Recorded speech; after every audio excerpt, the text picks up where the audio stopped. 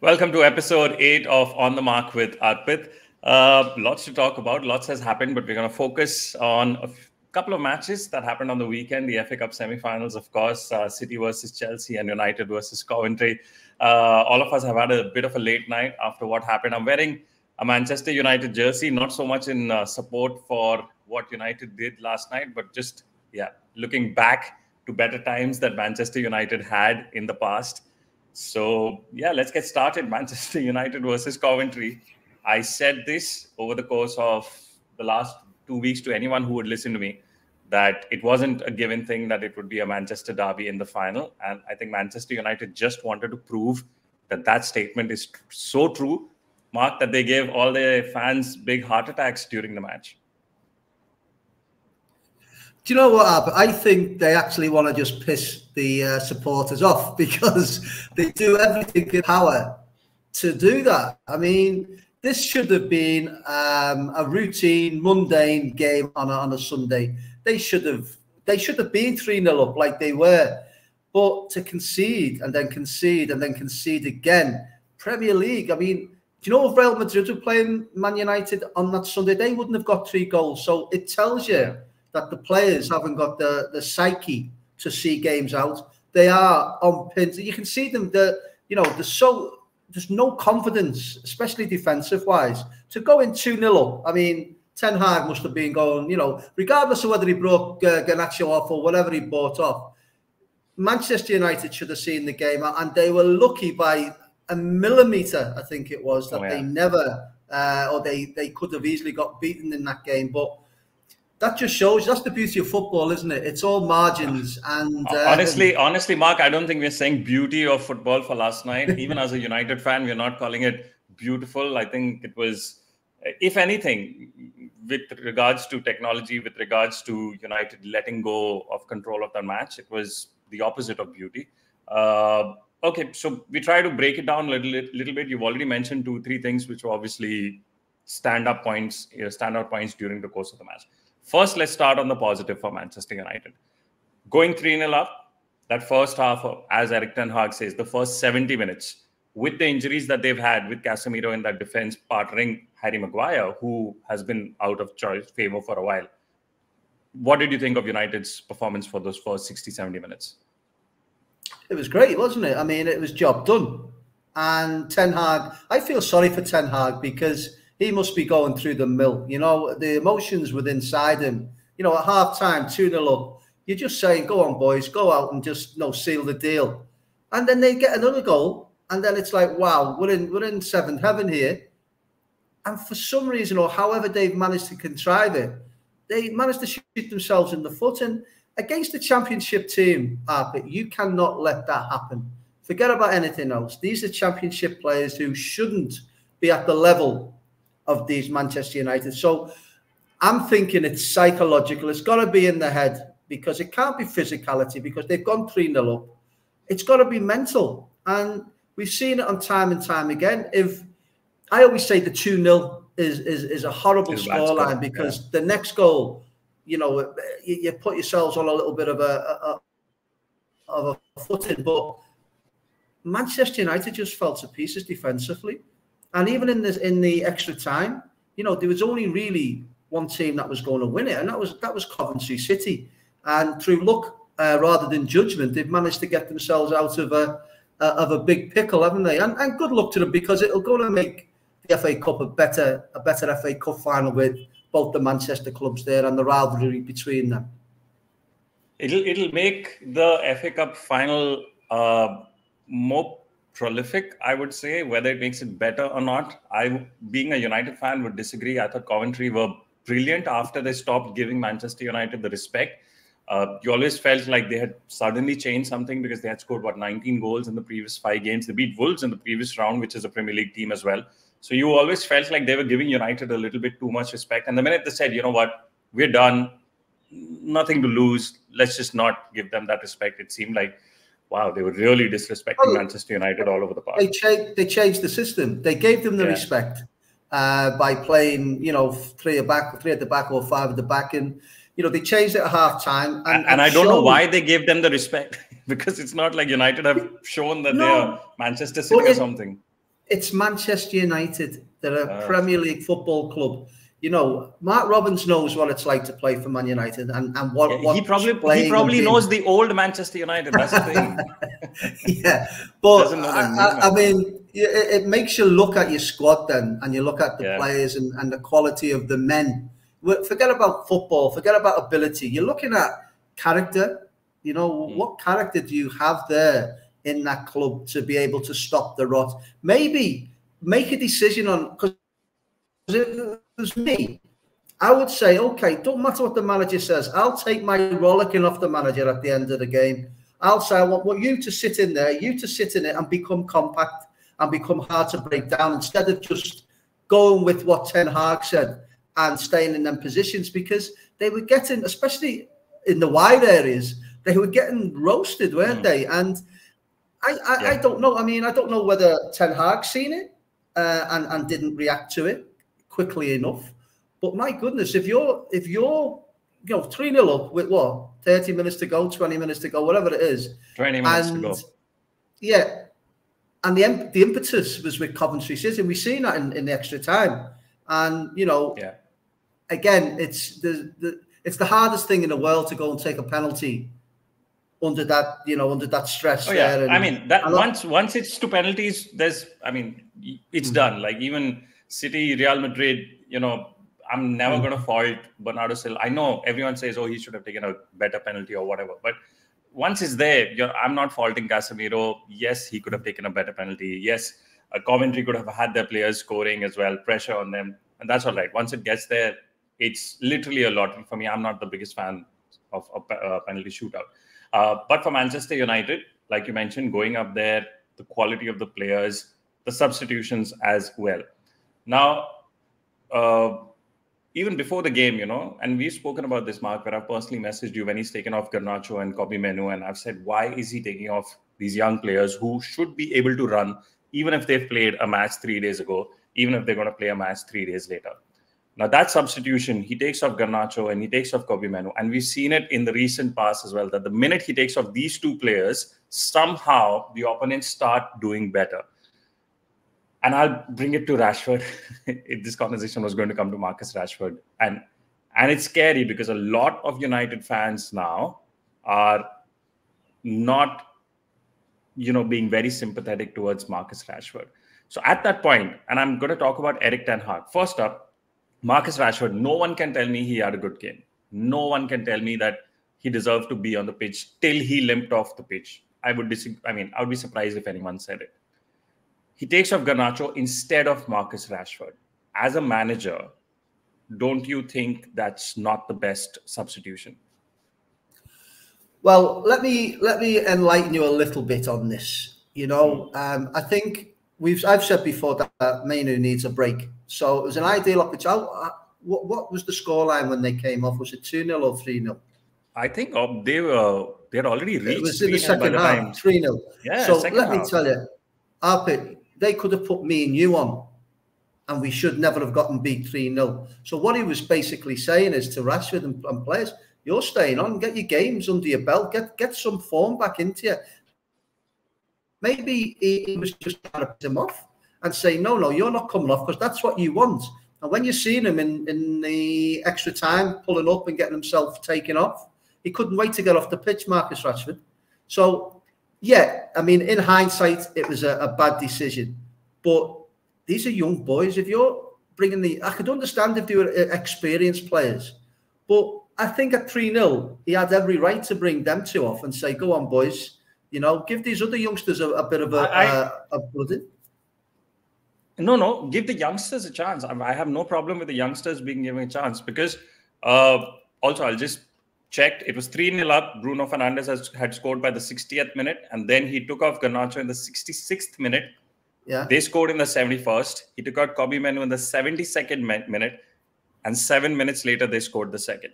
So I don't have a problem with uh, the youngsters coming on. My biggest problem is, mm. and as a United fan, I've watched Manchester United, oh, I mean, a lot. And in a lot of those matches, Marcus Rashford has failed to impress. And this is not just a personal point of view. a lot of United. If you type out Rashford during a game, during a Manchester United game, invariably it's United fans saying take him off the pitch. My point is that question. It's not about the youngsters. Amad Diallo comes on. He probably does a lot more in that little time than what people have seen Manchester United do. Omari Forson comes off. He's running. He's trying to affect the game. It's just Marcus Rashford I'm talking about. Also, Mark, you're a manager. You're three 0 up. It's great. You should be. A, you should have the the opportunity to take off whoever you want. I get that. But Marcus Rashford is really having a bad game. Doesn't it affect the other players if you say, no. "Well, I'm okay with him staying on the pitch"? No. Do, do you know what, mate? I'll, I'll tell you something now. When I played, I was a team player, but I wasn't interested in anyone else's performance. I was interested in mine. And if I did okay, I would have said that will affect the team. Now, I would have expected the other players to do the same. You know, I had no opinion. What if you got taken they... off? What if you got taken off over Marcus Rashford yesterday when well, you my, had a my, game? My issue would have been with the manager then, not with exactly. anything else, not with Rashford and not with anything else. But what I'm saying is, this is Manchester United. We're talking, we're talking about Marcus Rashford, who's a, an international footballer who scored 30 odd goals last year. He's having a bad season, right? I get it. And, and, and begs the question why play him in the first place? Why not, you know, not play him? But because he's on, and you've got to factor this in, he's on a lot of money at the football club. If the manager who's given him that contract or the club they're not playing him. What's what's what's the point? He's going to sit on the bench oh, no. on 300 no, no. grand then, a week. Then I'm then I'm going to come in here because Antony we spent 100 million on and Erik ten Hag is the manager who told a legend of the game or rather made it apparent to everyone that a Cristiano Ronaldo is not bigger than me. He mm-hmm. made an example of him, is what a lot of people say. So, this is a manager who shouldn't be afraid to take the big calls, so as to speak even if he's on 350 grand a week, even if he is a star for England, and we mm-hmm. like Marcus Rashford personally. We've spoken to him. So personally, we have nothing against him. Guy's done great things, used his aura as a footballer to help people in need, which all of us love. So in, in that respect, we don't have a problem with him. But the fact is, if you made an example of the likes of Cristiano Ronaldo, if Harry Maguire, one of your most expensive signings for Manchester United, has been benched for a long period of time, if Antony has been benched for a long period of time, if you've gone out in the press and said Garnacho is a young guy, he needs to learn because he liked someone's social media posts. come on, you can't tell me that. You can't tell Marcus Rashford to sit on the bench, Mark. No, but Marcus Rashford went to uh, to Northern Ireland for a party on a Thursday night as well, didn't he? Um, so yeah. there's loads of things that are happening at Manchester United, you know. But at the end of the day, as a manager, he's under severe pressure. And I mean, there's a saying: you can't see the wood for the trees. And I'm, yeah. I'm sure he's like, but having said all of that, right? Having said all of that, we keep going on about these managers. It's the players that need to take all of the responsibility. All of the these aren't young kids. You know, Rashford has played over probably two or three hundred games. You know, he's played in major cup finals. He's played in in the Champions League. He knows the time of day. He's having a bad time. Now, as a manager, I want my experienced players out there, especially in a semi-final. It was the biggest banana skin in the history, wasn't it? Everyone's yeah. waiting for Coventry City to. And at the end of the day, if you didn't know what happened before and you're seeing Man United versus Man City in the FA Cup final, you'll think, oh, that's about right. But what's happened since? I mean, it, it was yeah. that what 20 minutes or 10 minutes, 15 minutes of madness that has tainted yeah. the whole of the day. But at the end of it all, he's got Man United, hook or by crook, through to the chair to the final, the FA Cup final. And for a supporter like you, it's heartbreaking, I know, because I know what your feelings are about Marcus Rashford because yeah. I've got so many text messages about him. But this is the nature of, of, football. Now, if Marcus Rashford goes out and plays against Manchester City in the FA Cup final and scores four goals, you'll not you'll be like, oh, Marcus Rashford back to his best, and we always believed in you, Marcus. No, no, I would this not do that. I would say great performance, and I'd say well deserved, young man. I would not say I always believed in you because it's been a it's been the kind of season where it's hard to believe in Marcus Rashford as that left winger for us. Okay, now I ask you this: you know, you're speaking about performances, having a bad season. Mm, Marcus Rashford should should start for, or rather, even play for England at the Euros? No, because you've got better. You've got better players right now. Ollie Watkins is go. better than him. He's going he to might, go. I don't know. He's probably going to start. No, he won't. Not at all. There's Ollie Watkins is there. You've got Ivan Toney there. Grealish is there. Grealish. On that side, yeah. and I'm not Kane. a big fan of Jack Grealish, but I on current just current play, I would say Jack Grealish would start yeah, absolutely. And I'm sure Southgate's not not not a mug, is he? He knows the time of day in terms of, regardless of what we believe or think about him as a manager or whatnot. But you know, he'll he'll do his homework. He's got to take players there that are in form. He can't take players there because you know the, the government love Marcus Rashford for doing the things that he was doing, and you know people in the media love him because he's you know he's trying to do all of these things for the homeless, and the, and that's great. But fundamentally, he gets paid to be a footballer. That's not happening right now. So Southgate has a big issue because he can only have so many so many um, players, can't he? So okay. I, I don't know. I don't know what for the best with that one. Hmm. okay, interestingly, um, Euros is a couple of months away, so we'll come back to this match. Uh, just quickly, Mark, before we move on to the next question, which is regarding uh, refereeing, uh, him taking off Garnacho and Mainoo as a United fan, I was not thrilled about it. And a couple of his decisions in the past couple of weeks have also surprised me because uh, in uh, the quarterfinal, United played Liverpool, and Amad Diallo scored this mad goal. It wasn't the best of goals, but just the context of the goal, one of the best that United have seen. And when we played Liverpool again, right, he didn't give Amad Diallo any time on the pitch. And I can't even imagine when you have a player who's scored a miracle goal against a team who's probably on the bench, just raring to go saying, wow, maybe I'm just supposed to be in the right place at the right time again. It's not given him a single minute against Liverpool just a week later. So I don't understand these decisions as a United fan. Next up, United are playing Sheffield, Burnley, and Crystal Palace. You can't even tell me that you're protecting these players for the next game. You should be able to put out any team against Sheffield United. I think Sheffield United on current form are worse than Coventry. I think Coventry have done better in the FA Cup than probably what yeah, Sheffield have done. I, yeah, I agree so you with you. I, but yeah, it's a big game, and Sheffield United are no mugs either. You know, they're a Premier know, League but football I just, I just feel like that that subs, and I, I'm know for a fact because I've been scouring social media since last evening, and and a lot of United fans are unhappy about that substitution. We spent a lot of time on this, so I'm going to move on now. I just want one last a... one one last thing on that, right? Yeah, on, on. on on giving these kids the chance and all the rest of it. I'm for that completely, but Ten Hag sees them every day in training, okay, and a lot of the team selection is based on the team's training and who who is is looking sharp, who is looking you know day in in this particular weekend. And I remember when I made my debut for Liverpool, it was I I got picked because I I went into a, a challenge with Ronnie Moran, who it was at the time, and I just smashed him. And he said to Kenny at the time, he's ready now to play for this for the first team.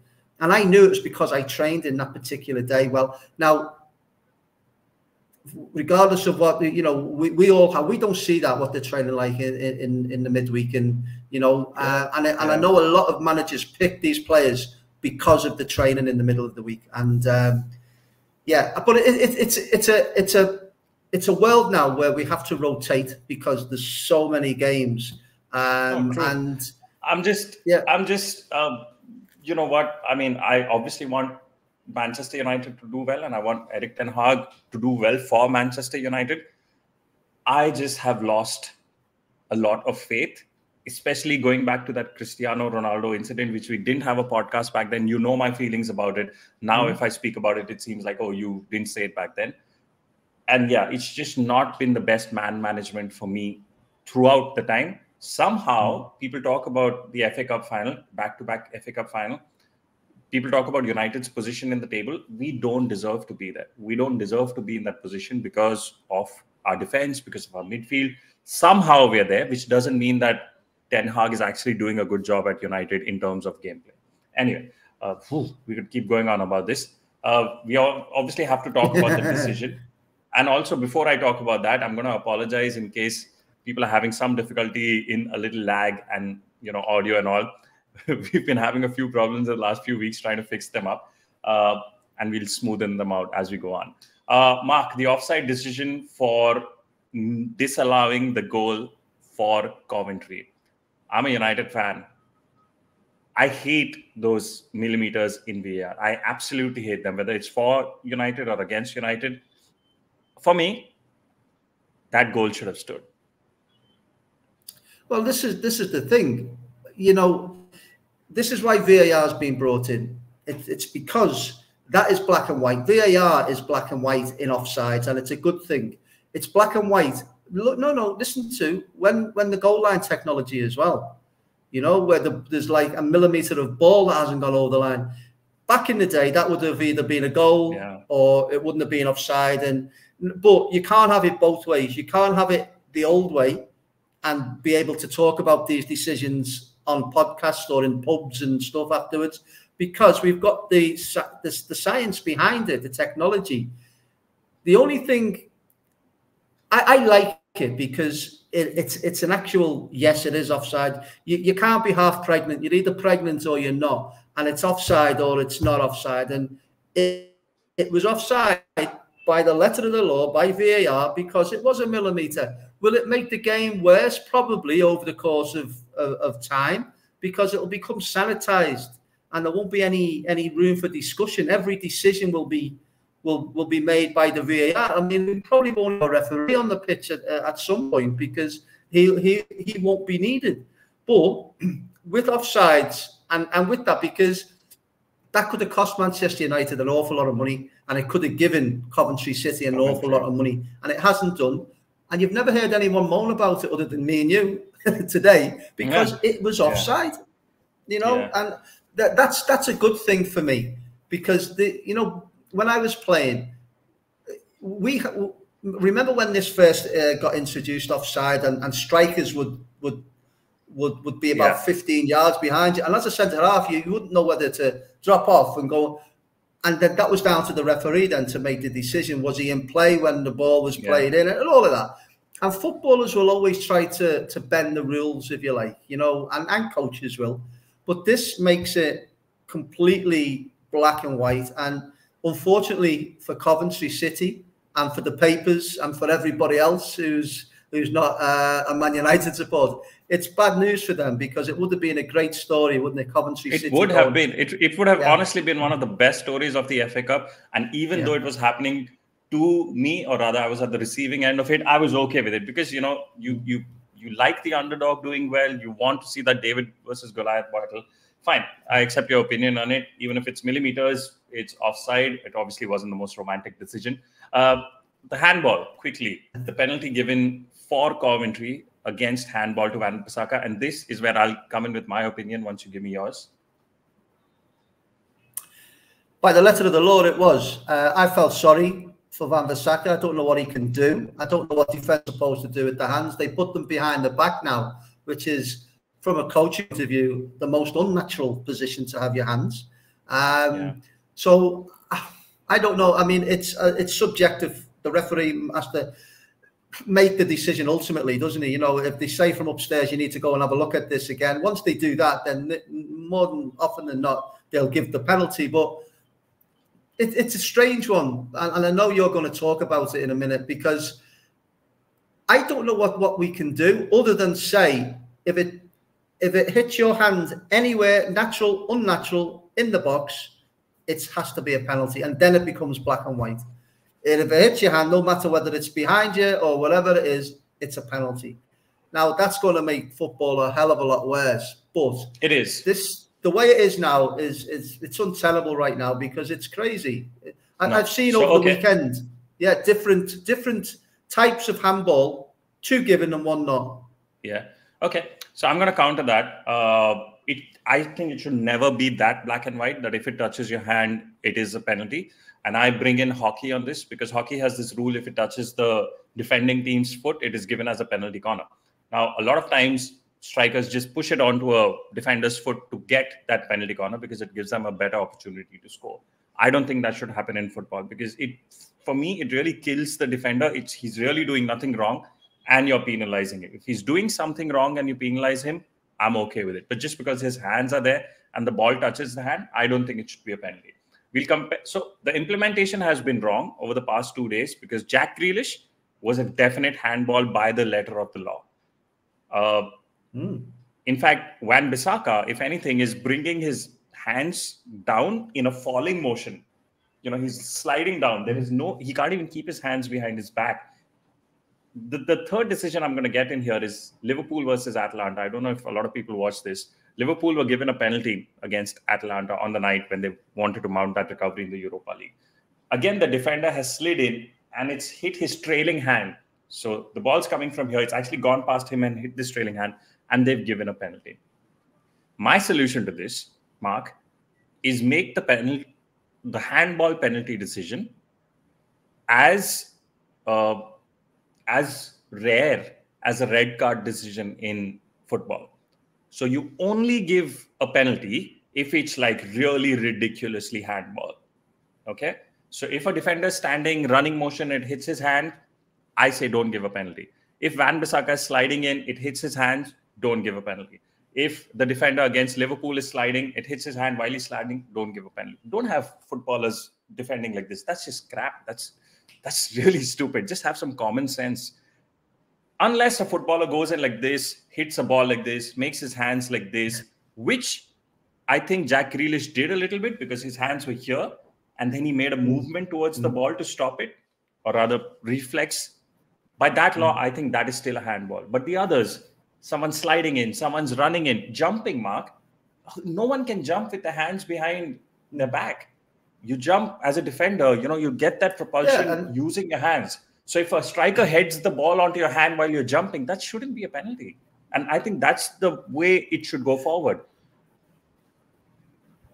Yeah, I mean, but and from another side of or point of view, from a coaching point of view, we're now going to have to coach kids, um, players, adolescents into footballers, uh, professional footballers, to defend with their arms behind the back. And as you say, when you're jockeying somebody, your hands have to be in a certain way. They're, they're there for leverage. They're there for balance. They're there for everything. Yep. And but with what you're saying, I, I, get the point, but then it becomes subjective again, doesn't it, from the referee? No, but but it becomes subjective to the even the red card is subjective, right? It is still subjective, but the chances of being given a red card in a match are so minimal compared to a hmm. handball incident, right? And that's because referees are told try and keep 11 uh, players on the pitch unless a guy has done something which is really either one of those last man offenses stop the ball mm. on the goal line with a hand or you know literally gone into hurt a player that's what i'm saying. Make the handball decision like that. Reduce the number of handballs. I don't think football fans will have a problem with reduced number of handball penalties.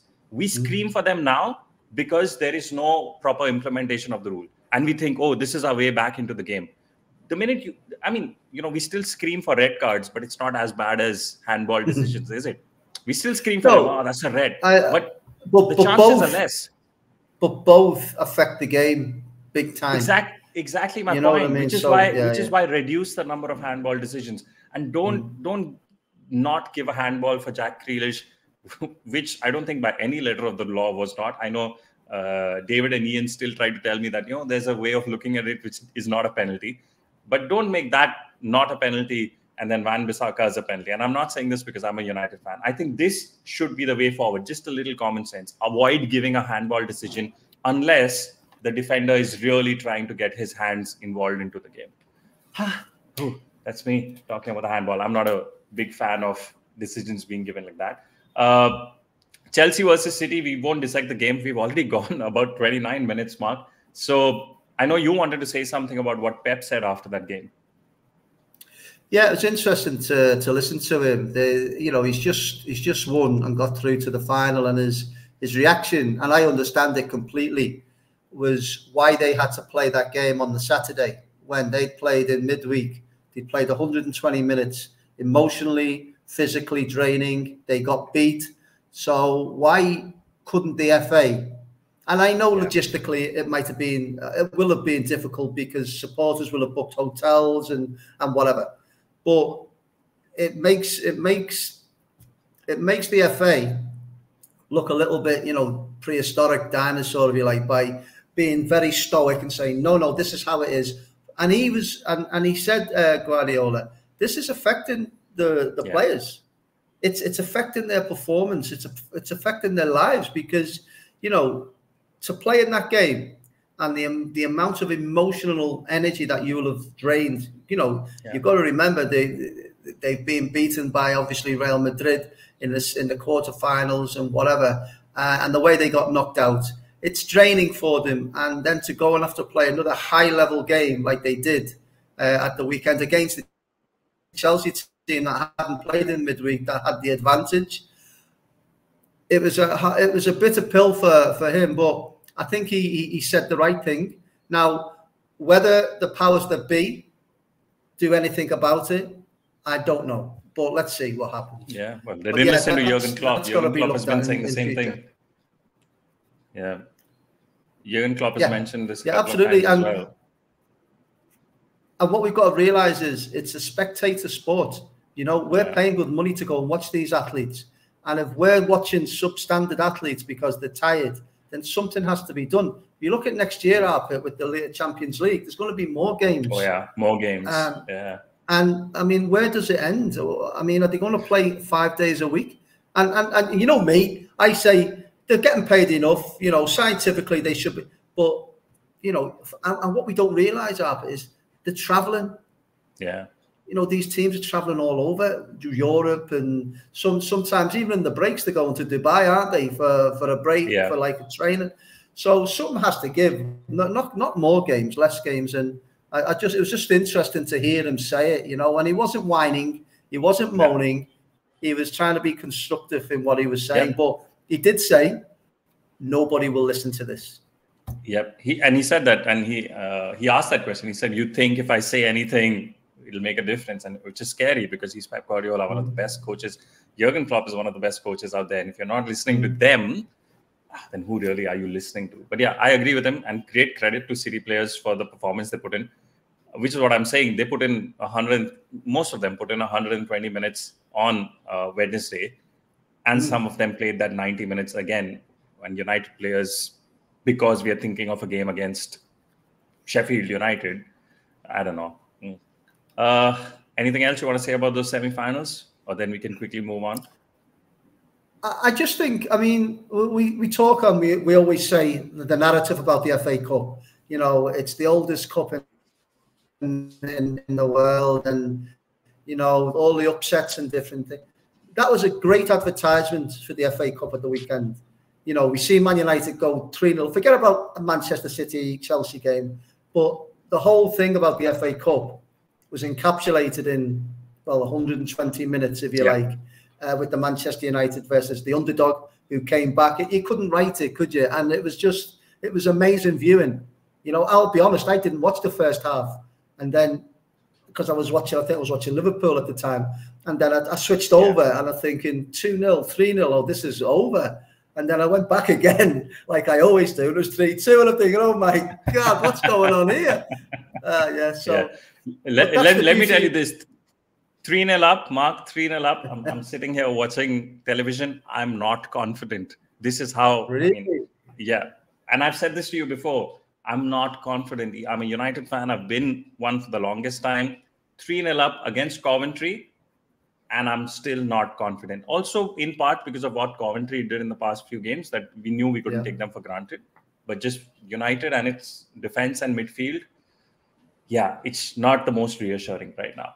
Okay, let's move on. Uh, just two more games that we're going to talk about. We're on 34 minutes, so we're going to quickly talk about them. Uh, Leverkusen. ah. you know that well, term, never, Neverkusen, which was defined to say that they would never win a trophy. Yeah. Now yeah. I feel Neverkusen means that they're never out of a game. Do you know what it's called? It's called should be called never losing. Never That's what they should. Yeah. yeah. Because again, I was flicking because that was on at the same yeah time, and, and I was flicking back. In fact, I had it on my my SonyLIV app, you know, my phone. So I'm watching the yeah. Man United game on the TV. I'm watching it, and then I seen I seen one 0 and it was in the 90 odd minute. And I'm thinking, well, give them the due. They've done really well up to now. At some point, they're going to have to. And then, funny enough, it uh, was a free kick, and Grimaldo, he went to take it, and as he took it, my whole screen froze. And then I'm thinking, oh my God. And then they come back again and I see Alonso running down the, the line, you know, like going, yay. And I'm thinking, I've just missed the goal. But they the keeper saved it and it went out for a corner and they, they scored after that. But all kudos to them because they've had the, the pressure on them in terms of mental pressure yeah. to, to win the league. Now, when you win the league and you win it so well, you've got to come down somewhere on the line. Yeah. But they don't seem to because they then went to West Ham same thing yeah. happened. Got battered about against West Ham. First half, yeah. managed to get the the, the equaliser, and now with uh, Dortmund as well. So, I mean, I'm really hoping now that they they go through the season. I you know undefeated, but they'll probably get beat to someone like FC Cologne or whatever it is. You know no, I mean? No. One of the, because the, the funny thing is, the funny thing is, Xabi Alonso has now said that I want to go the season unbeaten. I hope he's not wow. cursed it because till now he said, yeah, that's not really what we're focused on. We're focused on winning and this and that. Now he said, I want to go 40, 45 matches unbeaten now. And interestingly, in the Bundesliga, in the last 10 minutes of time, whether it's added time or whatever, 80 plus yeah, yeah. basically, they've scored 14 goals in post the 80 minute mark. And overall, across competitions, there's 12 more. So 26 across competitions after the 80th minute. So they're definitely a good tag for never losing. But you know, also, um, I'm you know me. I have my books on the Bundesliga and champion. An interesting fact: you would have thought that Leverkusen would have players in uh, the top levels uh, of the goal scoring charts, wouldn't you? And they've got, I think it's Verse, Words, and Boniface, and they're yeah. eighth, ninth in that. List.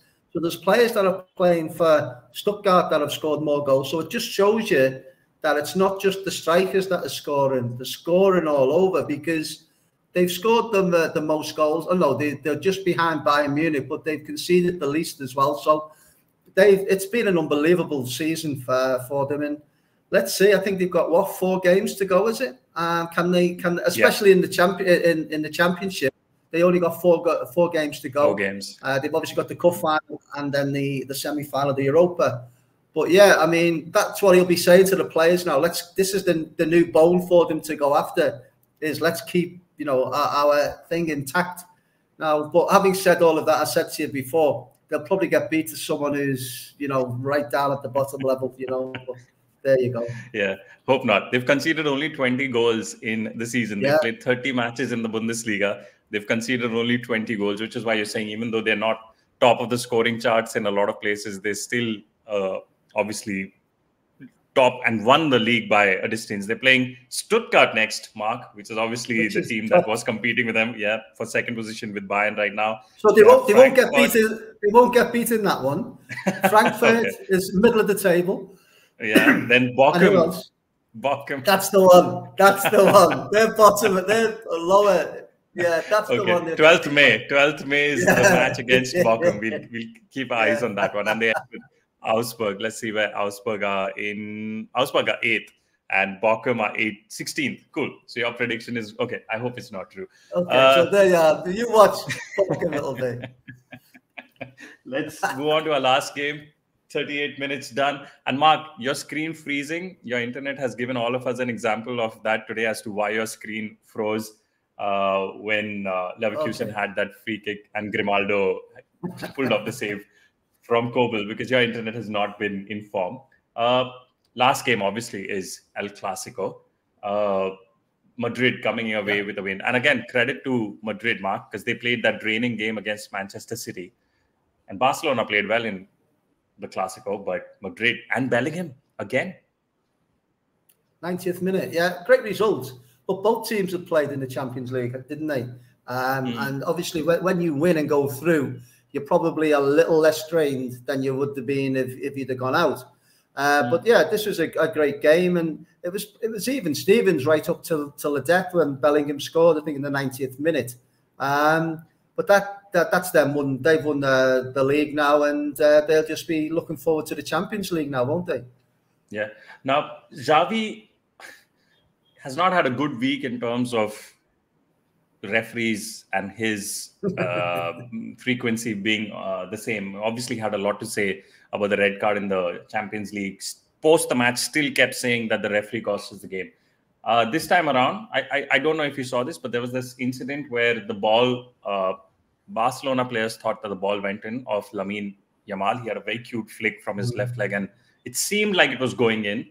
Uh, Lunin made a save on the line, and that's when I got to know that there is no goal line tech in La Liga. Mm. I'm, I'm I did crazy. not know this. I, I, I thought it was a basic in any football league, and now the contention is that the ball was in. This is what Barcelona and the mm. fans are saying, and that VAR didn't spot it. What do you make of that? Yeah, I mean, I, I, I was under the the belief like you that every every uh, league has goal line technology. It's easy to to implement, isn't it? Yeah. Um, as is VAR to to a point, but yeah, you would have thought. But what it does do, it gives it gives the supporters an opportunity to vent. You know, uh, if you're a Barcelona supporter, it went in. If you're a Real Madrid supporter, it didn't. And it's very difficult uh, for for linesmen or lineswomen to be able to see whether it went over because you've got yeah. a big post in front of you anyway, haven't you, to to see whether it's or yeah. not.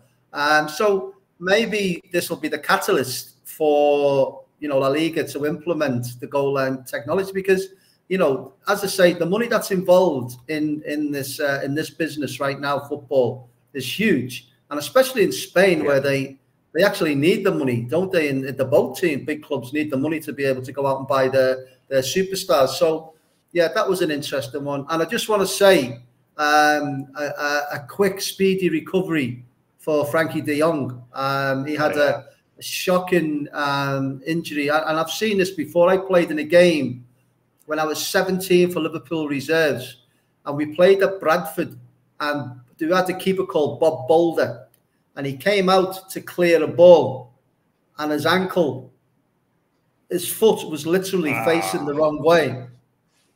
Unbelievable, and I've never heard. And this was a big man, big, big sized yeah. man, and he was squealing like like a like a baby. And I just looked at it, and I was horrified. Now, if this is the same injury, you can come back from it. Don't get me wrong, but it's it's it's it's it's not a nice. Not, uh, let's let's give him best wishes because um, he's a good footballer as well, and you know we wanted to see these players back playing, don't we? Yeah, and and the Euros are coming up as well, so it's, it's not the perfect time. I think that's out for him to now. Be injured for any. That's out for him. Yeah, definitely. yeah. I mean, yeah. To, yeah, he's crying when he was taken off, so would be would have would have to be a miracle recovery if he comes back and plays. No, he's got no chance. No chance whatsoever. No, he hasn't. Mm. That, will be a year, easy. Of rehabilitation and whatnot. But okay, well, that's bad news. Very bad news for everyone involved with Barcelona and the Netherlands, of course. Uh, yeah, yeah. All right, Mark. Anything else you want to talk about? We covered VAR. We covered the handball. Uh, anything else you want to talk about? before we say goodbye? No, that, that's it. It's been a, another weekend, a good weekend of football. Uh, they just keep rolling on, don't they? I mean, we, as I said, we had the Champions League midweek, then the Europa on the Thursday, FA Cup on. Uh, I think we'll have a little bit of a, breathe, a, a, little bit of a breather now till uh, till the next one, which will be the yeah, it'll be the semi final of the Champions League, won't it? Yeah, but no, we have midweek games coming up in England, so okay, things to talk about there as well. Let me just take a look at uh, Premier League matches. Uh, yep, 24th and 25th. Arsenal, Chelsea. Ooh, ah, Arsenal night. playing. Arsenal yeah. playing Spurs as well, aren't they? The North London. Yeah, that's derby. that's after. So Arsenal, Chelsea, and Everton, Liverpool. How can we forget yeah, that? Everton, midweek, Liverpool. Yeah. Mm. So yeah, I'm going to ask you a question. Uh, you can see the the table there. You've got the table. Uh, yeah, I got who the table. You, who, who do you think is going to win it? As it stands now. I think City. Yeah, two games. Well, one game in hand. One game in hand. Yeah. I hate to say it, but yeah, City. Yeah. And especially now with what they did in the FA Cup against Chelsea, um, mm. yeah, I, I don't see them giving up now. Who are they playing? Brighton, Forest, Wolves, Fulham, Tottenham, West Ham. West Ham got hammered, I think, in the last match. Five two, yeah. Crystal Palace. Yeah. That was a shocking result. Uh, he'll be out of yeah. a job. Moyes he'll be out of a job as well. Yeah. Okay. All right. 45 minutes, Mark. I thought we were going to do this in half an hour, but obviously both of us love to talk. so we've gone past our time. Uh, but yeah, we, we can afford to do it here on our podcast. Uh, great talking to you again. Yeah. Uh, good matches to talk about. And to anyone who's uh, watched this podcast or listened to it, thank you so much for tuning in. We'll catch you on episode nine very soon.